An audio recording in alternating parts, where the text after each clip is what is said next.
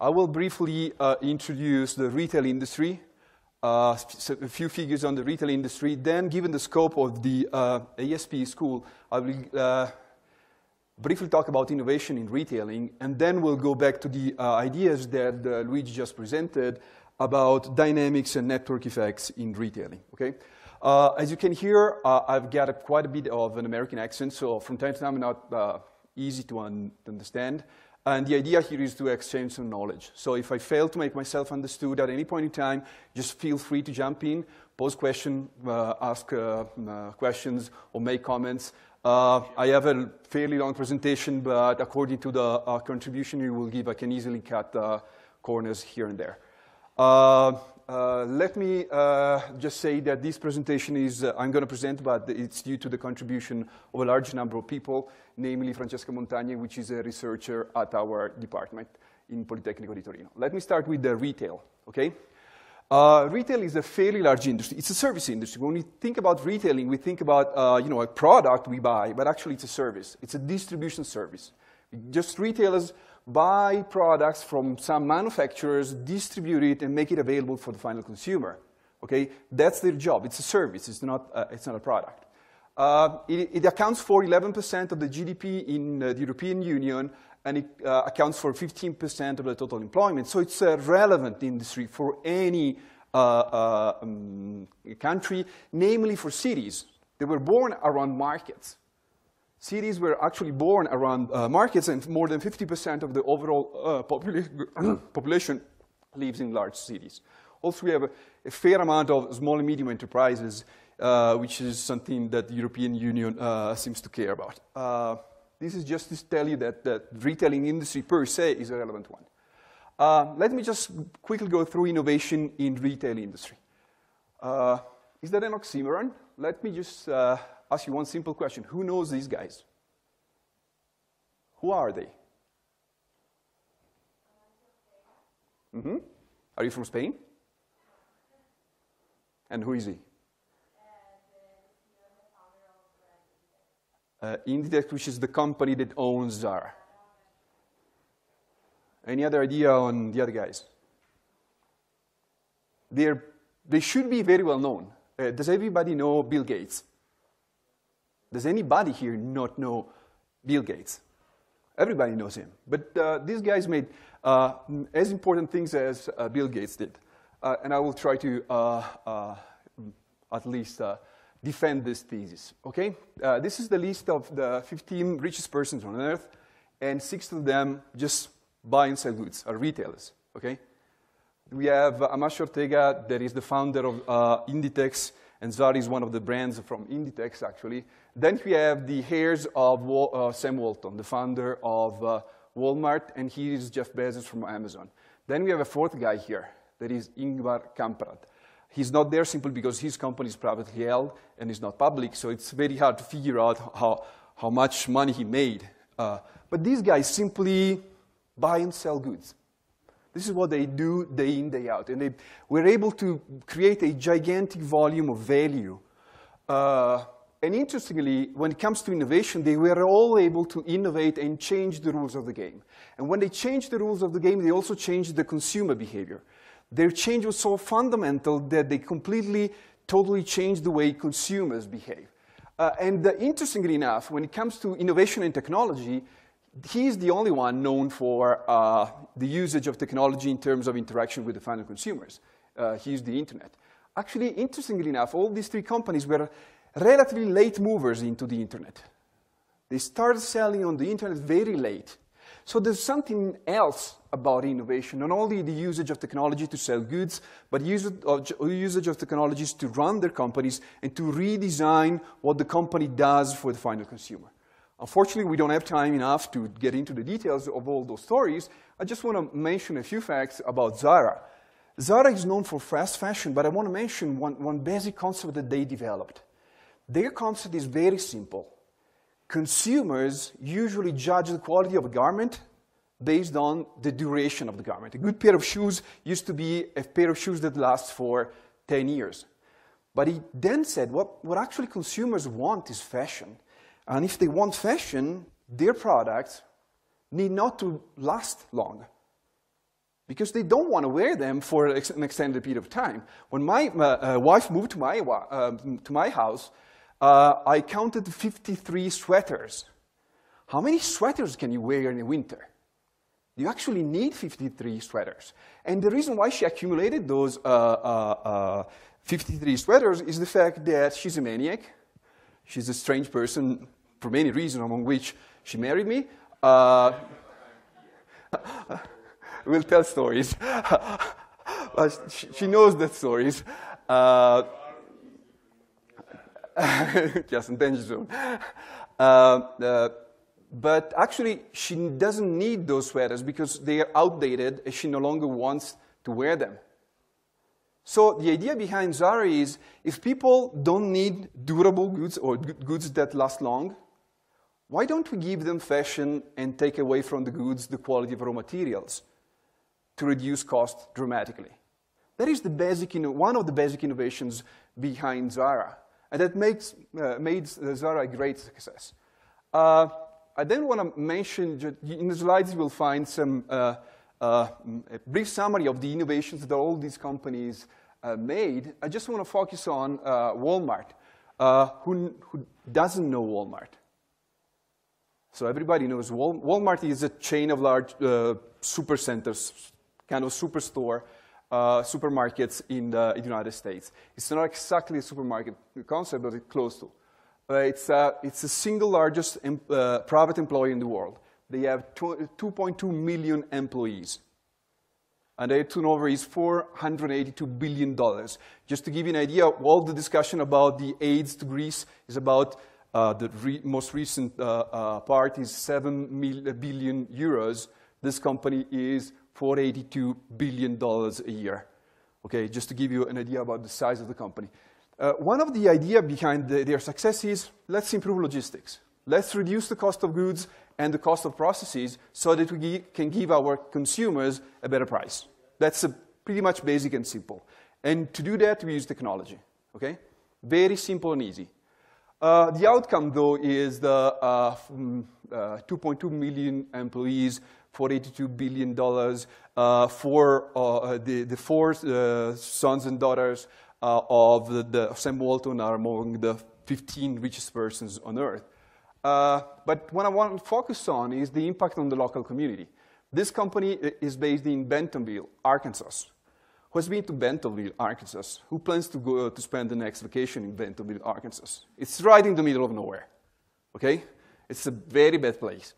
Uh, but interestingly enough, when you compare Bentonville to the average state uh, of the Arkansas state, their income in Bentonville, uh, the median, not the average. So this doesn't account for the very rich people. It's rank the uh, 100 people that live there, take the person in the, mm, uh, the half of the list. That's the median person, and you take the income of the median person. Okay, so it's the average person in Bentonville. The average person in, ben- in Bentonville makes 70,000 dollars a year. That is roughly 75% more than the average person in the state. Also, the, the wealth of the median household, the median family in uh, Bentonville uh, has been increasing by 77% in uh, thir- over 13 years. So it's an amazing effect, not only on the, the Walton family, but on the community around the family, okay? Which makes this innovation very relevant uh, for the community as well. Okay? So much for the innovation. I just want to switch to the uh, individual decisions and uh, collective behaviors. I want to focus on uh, local markets, which is a very traditional form of uh, retailing because I've, I've, been working with the city of Turin on local markets for the last uh, couple of years. Uh, and when you compare the Porta, Porta Palazzo market is a very large market in central Turin. When you compare the, it in early 900s and today, it's basically the same. The one difference is the color of the, the, the picture. Other than that, it, it, has been the same forever. Okay? So it is not a very innovative market. Uh, it is, though, a very large industry. Just the local markets are a large industry in Turin. They employ 10,000 people. Hardly any other industry can employ as many people in Turin. And back again to the social impact of retail. Okay? Uh, and uh, Porta Palazzo is the single largest market in Europe. There's no such thing around Europe. So for, for those that live in Milan and might, be, might end up in Turin for ASP, I suggest to go there and visit it. It's a, an amazing experience. Uh, just a few names. The store is called the stall. And here we have a map of a given uh, uh, local market in Turin. We call this stuff, this is an area where the stall can be located. We call it slot, okay? Let's try to understand the dynamics of these uh, uh, markets. And uh, to start with, Luigi presented a, a, complex concept. I want to start with the basic one, which is classic markets. A set of vendors that sell goods to a set of customers, okay? Uh, this is, we, we call this single-sided markets or uh, traditional markets. And in this case, for the vendors, it is good to be alone. We call this monopoly, right? Uh, in, for a vendor to be the only vendor in town is good because he knows that he can uh, sell everything the consumers need and can take advantage of his being alone because he won't have any competition, okay? And so he can take advantage of the needs of the potential customers and raise prices, basically. Okay? Am I being clear? So if this was the logic behind the local market, and you have your own stall, your own bancarella, where would you locate? In a market with around it a small population or a large population? Few slot, a small market where few competitors can locate, say a, a market with just one slot, or in a large uh, market with many slots. If the logic that governing the uh, local markets was simple market, build a monopoly to make money, where would you locate? Uh, in, in uh, which option would you choose? One, two, three, or four? Who said option three? Please, can you uh, uh, raise your hands? Option three. Can you explain to us what, what's the logic behind mm, option three?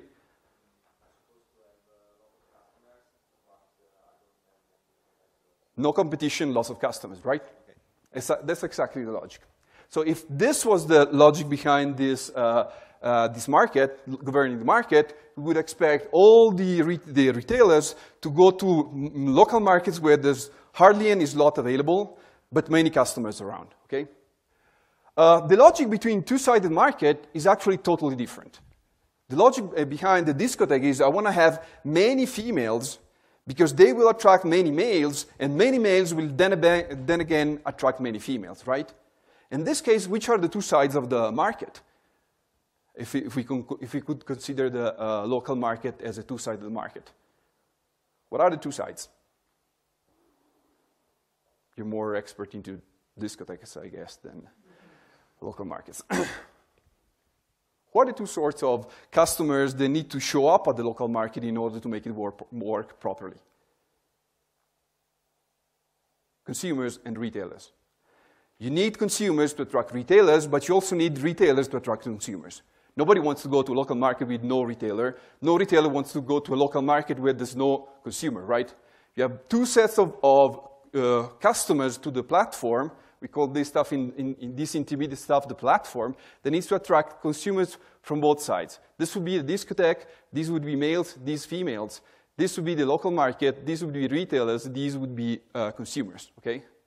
In case of local market, the, uh, the local markets as two-sided uh, markets, the logic... Is eBay is a platform. Malls are platforms, okay? So it applies to many forms of retailing, not only to local markets. Uh, so you need to attract uh, uh, consumers on the one hand in order to attract retailers. You need to attract retailers in order to attract consumers. If you fail to attract one of the two sides, you will fail on the other one pretty much quickly. Okay? Uh, and uh, two-sided markets are very different from the uh, single-sided market, traditional markets, namely from what reason? More competition can be good. If you are a male, a single male looking for females, and you're heterosexual, you're straight, there's no gay around uh, for a second. Uh, uh, if you have a discotheque with many males, that's not per se bad news. Because that discotheque with, lots, with like a great competition probably is a discotheque full with uh, females as well. Okay? And so, if the, uh, If we have two-sided markets, all of a sudden, for retailers, the decision-making process might change quite significantly, okay? Uh, let's look at the, this is a picture taken in, in a mall in Turin. If you have this store or this store, are you happy about the fact that this store is closed? Or are you unhappy about it? Is this good news or bad news for the stores located nearby? That's actually bad news. It's a lower degree of competition, but it's actually bad news because it makes that area of the mall less attractive to the consumers, right? So per se, competition, the number of competitors could be good news.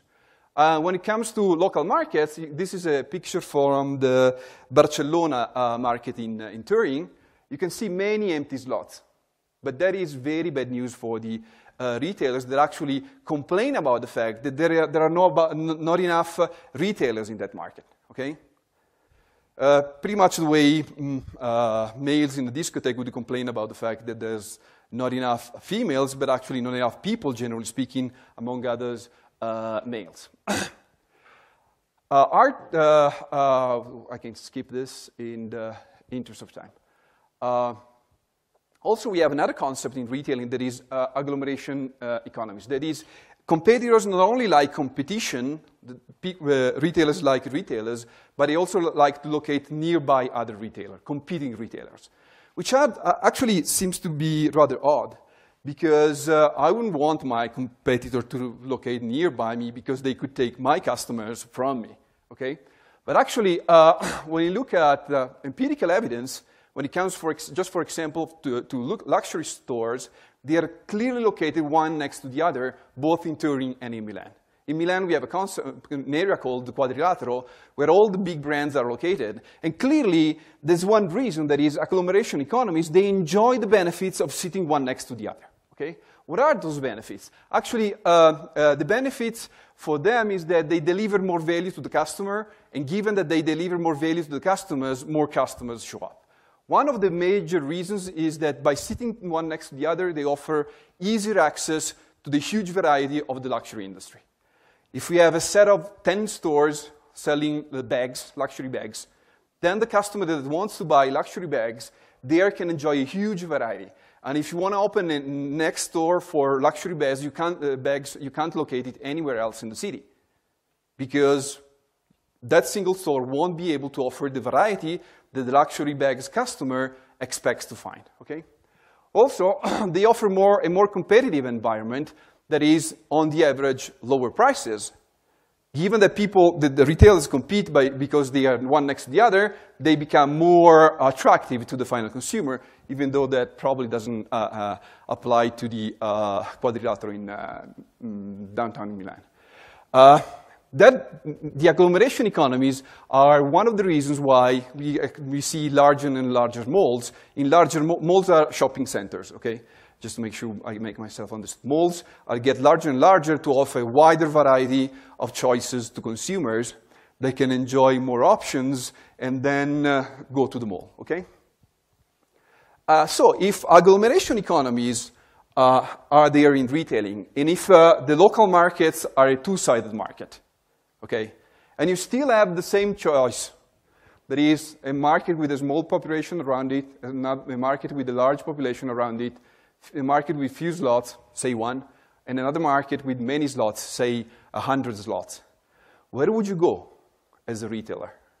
Would you still go to option three? Can you please explain why you would go to option four?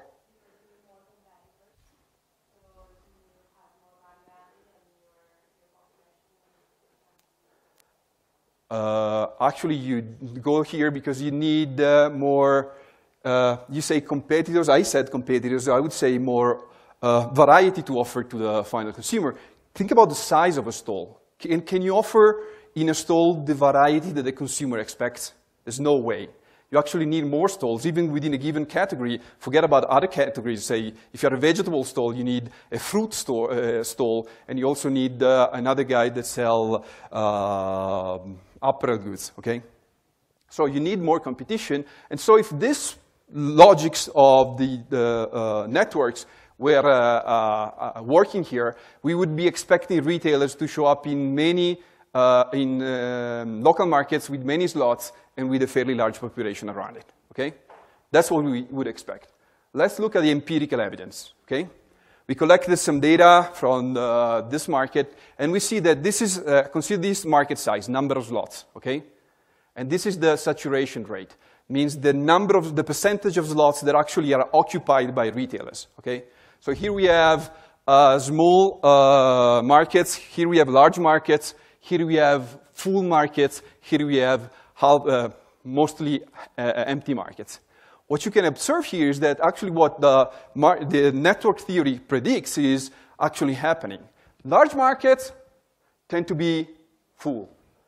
Small markets tend to be empty. So ultimately, if we have a market with 10 slots and a market with uh, 100 slots, we would, uh, be, before we read uh, this phenomenon with this logic, we, with this logic, we'd be expecting a market with 100 slots to be more empty than the market with only 10 slots available.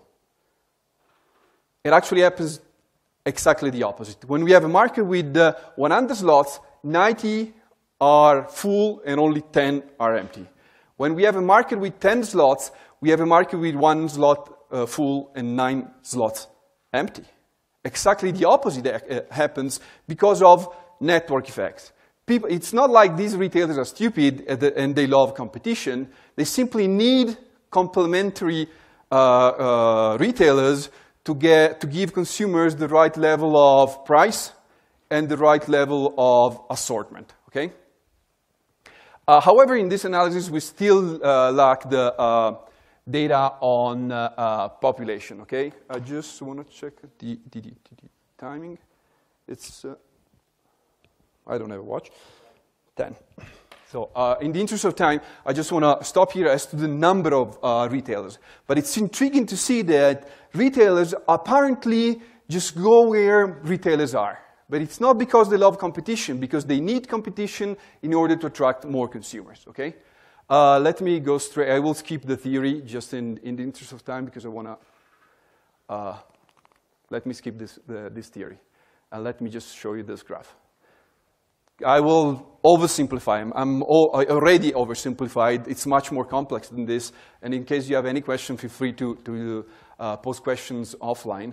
But uh, interestingly enough, we were able to estimate how many consumers show up at each single market, accounting for the population around the market and the size of the market, okay? And here we see the number of retailers that show up at that market. Interestingly enough, we see that there's a, quite a strong relationship be between the attractiveness of the local market on the consumer side and the attractiveness of the market on the retail side, suggesting that what we see over here is actually a network effect, a cross-side network effect. Those uh, local markets that are attractive for consumers end up being attractive for retailers and vice versa. We can't tell which, which way the, uh, the relationship goes. But we just observe here that discotheques with lots of females end up with lots of males and vice versa. Here we have, uh, say, females, and here we have, say, uh, males, okay? But we exactly see the same phenomenon. What what, uh, what's intriguing about this is that in this industry, when this happens, we build expectations. There's no guarantee that uh, in Porta Palazzo tomorrow we are going to have a lot of retailers and a lot of customers. But customers expect many retailers to show up and prices to be extremely low in that market. And retailers expect a large number of customers uh, visiting the uh, local market. Okay? So we have expectations and dynamics. Interestingly enough, there are exceptions. Here is the Barcelona uh, uh local market that is simply poorly run. If the Barcelona local market has got the size that might make, that might make it successful, but if you uh, uh, don't manage the, the, the, the, local market properly, then all of a sudden consumers stop showing up. And if that mechanism starts happening, a lower number of consumers leads to a lower number of retailers, a lower number of retailers leads to a lower number of, consumers, and we have a negative loop, okay? Uh, And uh, just focusing on, so far we just focused on the total number of, of retailers and total number of uh, consumers per week, okay? Now I want to dig into the single week and into a single uh, local market. It's a Campanella. okay, in case anybody lives around there. Uh, it's still a market in Turin. And here we have a fluctua- weekly fluctuation in numbers of retailers that show up at the uh, Campanella local market. Uh, uh, I've been there, but uh, I just uh, Campanella is where you go to when uh, you take a taxi cab and ask the, the, the, taxi driver to go to Campanella local market.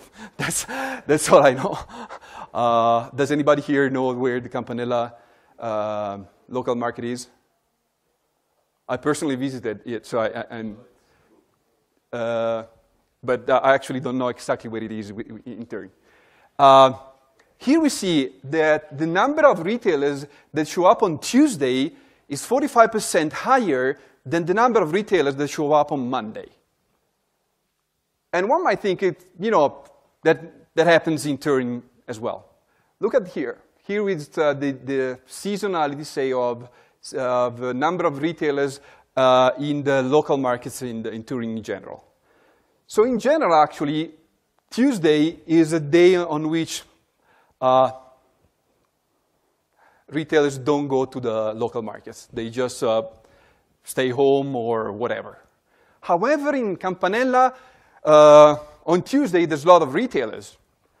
And everybody knows that the Campanella market works very well on Tuesday and Friday. If you go there, ask them, when does the local market work very well? There's a lot of people uh, in the market. And uh, the retailers say, well, it's uh, Tuesday and Friday. Can anybody try to explain what's going on here? Why people around uh, Campanella like to shop on Tuesdays and Fridays? Any explanation behind it?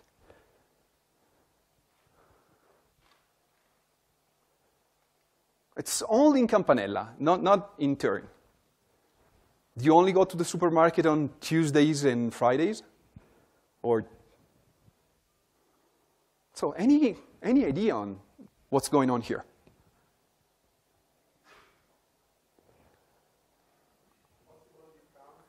No way. Any other explanation?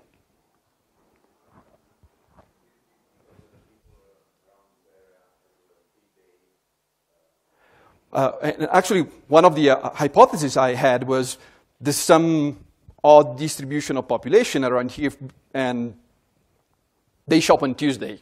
God knows why. Actually, there's a newsstand. Newsstand is a, a store selling newspapers. Okay, uh, there's a newsstand right uh, outside of the uh, of the local market. I went to the newsstand and asked him.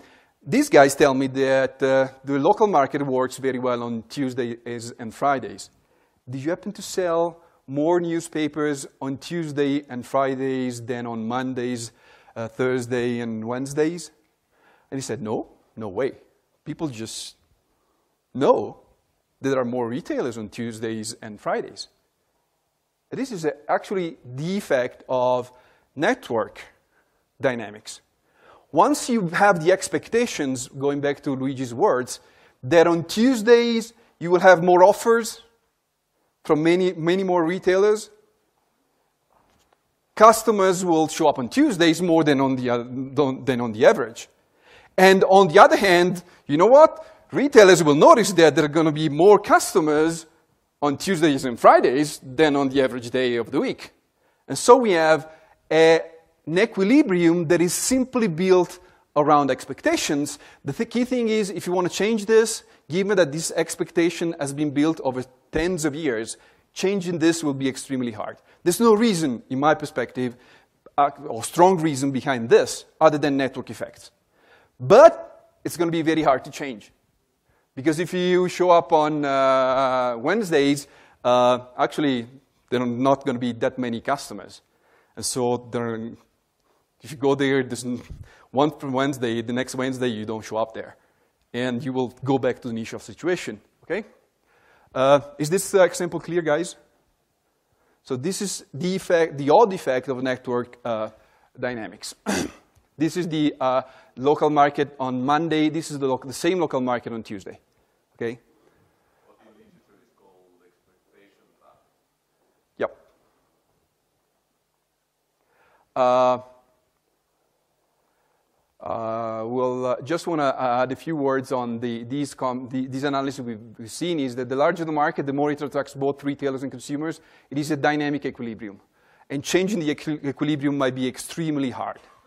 It is, once people expect something to happen, that tends to happen. And changing what happens means changing what people expect to happen, which is all but trivial. Okay? Uh, So far, we just talked about uh, uh, number, number of people, but quality matters too. We, we in the uh, Animals Farm book, there's a, a famous sentence that says, uh, all animals are equal, but some are more equal than others, right? Uh, when you think about discotheques, all females get better prices than males, but some females get, get extremely good prices. They're paid to go to the discotheque typically they are more beautiful than the average, right? Because they attract more males than the average females, and because of that, they get a better price, right? So we don't, shouldn't only account for the numbers, but also for the quality. Let's, apply, let's try to apply this concept, and we have uh, uh, uh, cubists, it's the, the word in, in English, cubista, in, in Italian, uh, that are paid to go to the discotheque, which is something other people pay for. Uh, the reason why they're paid is that they attract males on the other side. Okay? uh, let's try to apply this to retailing. You, say you manage a bar or, and you sell ice creams. Uh, would, you would you like your bar to be located between Toys R Us and the supermarket or between two unbranded apparel stores? There's still two stores, but not exactly with the same quality. Will it make a difference for, your, for the number of ice creams you're going to sell? And uh, we call the stores that drive traffic to the mall, to the shopping center, anchor stores. They are the ones that bring people in, and then other stores can enjoy the benefits of the, the, traffic, the number of consumers that the anchor store brought in. Okay? So we don't say number of retailers, number of consumers, but some retailers call anchor stores bring people in from the other side, and then people from the other side bring uh, other retailers to the mall. Okay? Interestingly enough, uh, so uh, anchor stores get uh, cheaper rents from the mall. And the reason is pretty much simple. The anchor stores use uh, space, but give, and, but give to the uh, uh, mall traffic, number of visitors, and money. And understandably, given they give traffic, they pay less cash. stores that don't attract, attract traffic but use traffic uh, use space and traffic that the mall generated, understandably give to the mall more money, pay on the average higher rental fees. That's exactly what happens with the discotheques, okay? Uh, interestingly enough, when the malls present themselves, they say, I'm large, I have many retailers, please consumers come, but they also say, say I have these anchor stores. In this case, in the case of the Otto Gallery uh, Mall in Turin, it's a movie theater, it's uh, uh, electronics, uh, and a supermarket and a KFC. Okay, these are what the, uh, the, the, the mall calls anchor store to drive traffic, and this is a very important dynamic. When you open a mall, the first thing you want to have is to make sure you have the anchors. Once you have the anchors, you will get the other retailers, and you can write 90 retailers in the Otto Gallery. uh, what are the anchor stores for the local markets? They're fresh food. Look at this. This is a picture in Porta Palazzo. This is the area where they sell fresh foods. And this is on the same day the area where they say, sell apparel. Clearly, what brings people into the uh, local markets is uh, fresh food. The bad thing about local markets is that we don't have a uh, anchor we have the, a whole category, which is the anchor? Uh, and actually that is shown by numbers. When you interview 1,000 people, 80% are interested, uh, and uh, we take the, only the people that go to the local markets. 80% of the people that shop at local markets shop for vegetables and uh, uh, fruits, okay? Uh, let's start to look at all these dynamics from the, from the, with the eyes of a public decision maker. Let me just ask one question. Would you add or uh, uh, close a few small local markets in Turin? Say, given this uh, piece of evidence, do you think that we need more small uh, local markets in Turin or we should close down the small local markets in Turin. This is a public decision that uh, you need to make, given this evidence. You want to have as many small markets or fewer larger ones? Who votes for more smaller? Who votes for fewer larger? Many don't vote. Uh, I would go for, uh, actually, we suggested the local community to uh, have fewer larger local markets. Because what happens is that local, small local markets are extremely expensive to the local community. They actually have uh, very few retailers and actually very few customers. There's actually no reason to spend money to subsidize a local market other than in very specific situations. But generally speaking, small local markets uh, just uh, deliver services to few retailers and few consumers, okay? Improve its infrastructure. What could be the effect after the local uh, market is reopened? Say there's a local market, you close it down, say we won't operate for two months, and then we are going to uh, improve the infrastructure. What do you think will happen on the day you reopen the market with a better infrastructure? What could be the effect of this interruption? Any idea? That, that actually happened uh, many times in Turin. Speak up. Less people, less consumers, you mean, show up in the morning, and that means that on the next day, less retailers, and in three days, less customers. That happened to many local markets when we interrupt the sequence of promises and expectations. Even though the infrastructure is better, all of a sudden, the local market doesn't work as effectively as. Okay? I just want to, uh, any idea on the time? I just, I don't have a watch, so let, we, uh, so we, 15 minutes ago, or just, let's try something. With any questions so far, guys? I can stop easily stop here. Uh, if you don't have any uh, question, I can go ahead for some 10 more minutes, but I'd love to break here to, for, for questions.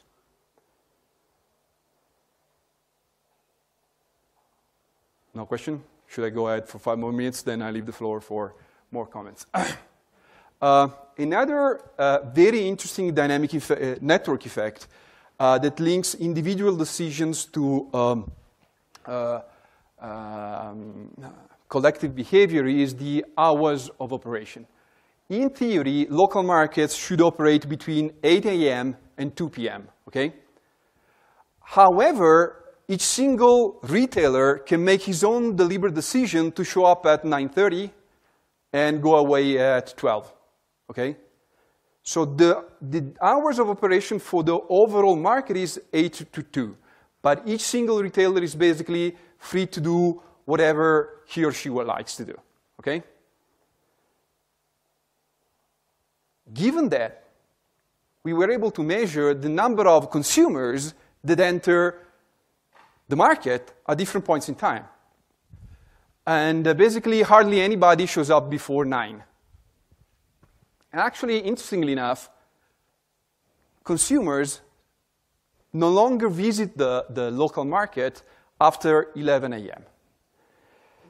Any explanation be, behind this consumer behavior? Is this graph clear? This is times of the day, number of people that enter the local market. Any idea on why this is happening?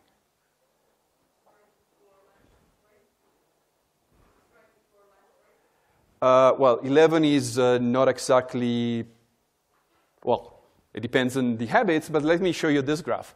Uh, this graph is from a large retailer selling furniture, which is uh, not exactly the sort of goods that are sold at local markets, but still gives us an idea about consumer behavior.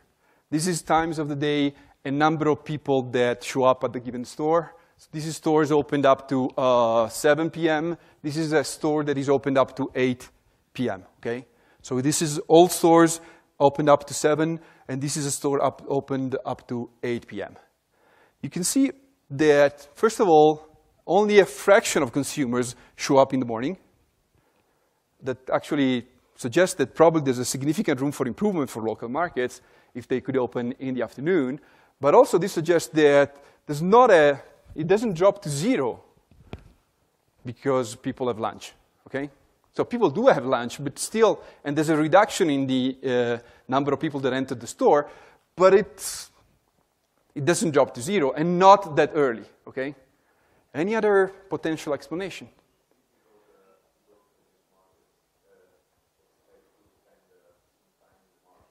Mm, the average visit is probably 30 minutes. Uh, this is a very small market. This is the Campanella market, so it's a very small one. Uh, the duration of the visit is probably 30 minutes, not def definitely not more. Mm -hmm. One thing is product availability. Later on in the, uh, in the day, you hear, what is it? Later on in the day, you get better prices but lower quality, or, or at the very least, less choice. That is one driver, definitely. Any other reasons? Uh, because uh, not the, the anchor retailers, I would say, some retailers show up late. And so in here, you're guaranteed to have the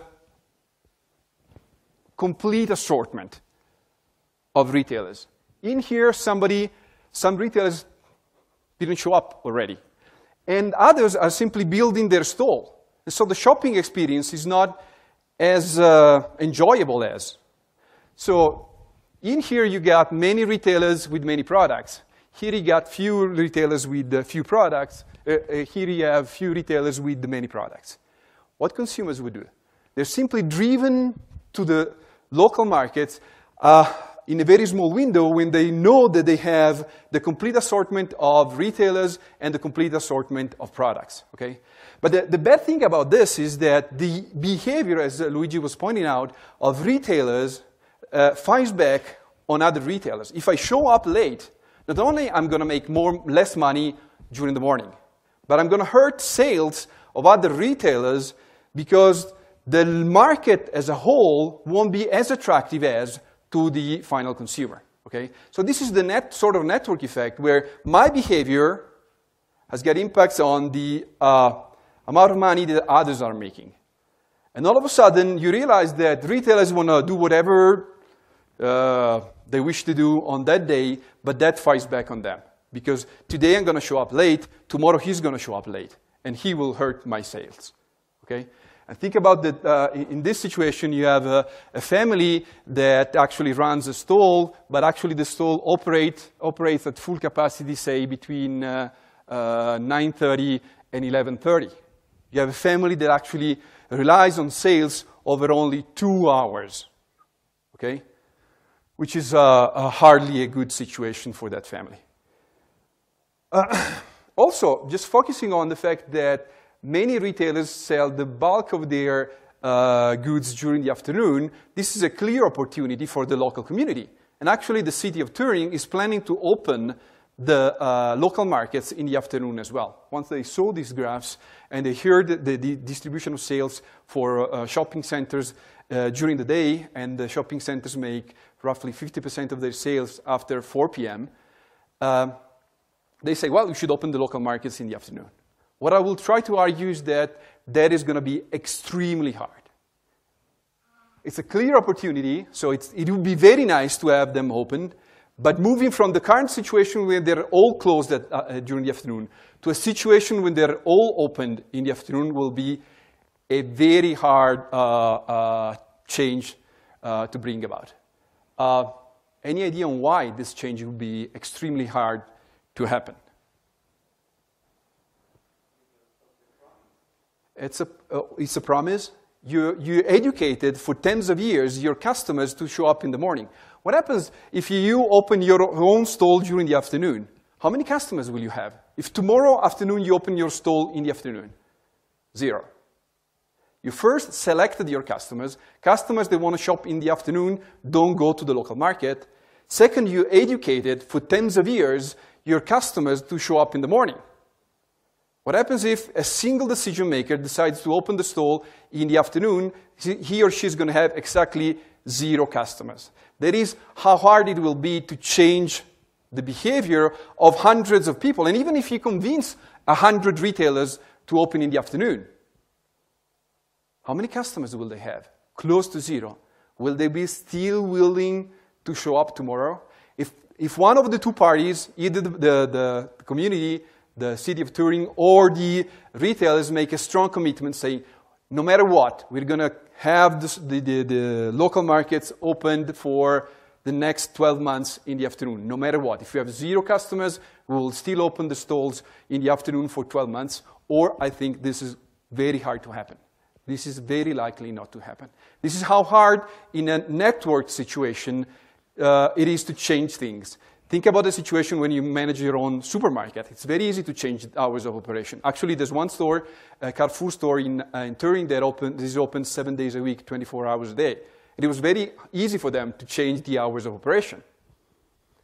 In the case of these uh, uh, local markets, there are two-sided markets. I argue it's going to be extremely hard to change, and the change process should be extremely uh, well planned and managed. Otherwise, you will resort, you go back to the initial situation. Okay? Uh, so much for it. Uh, any question?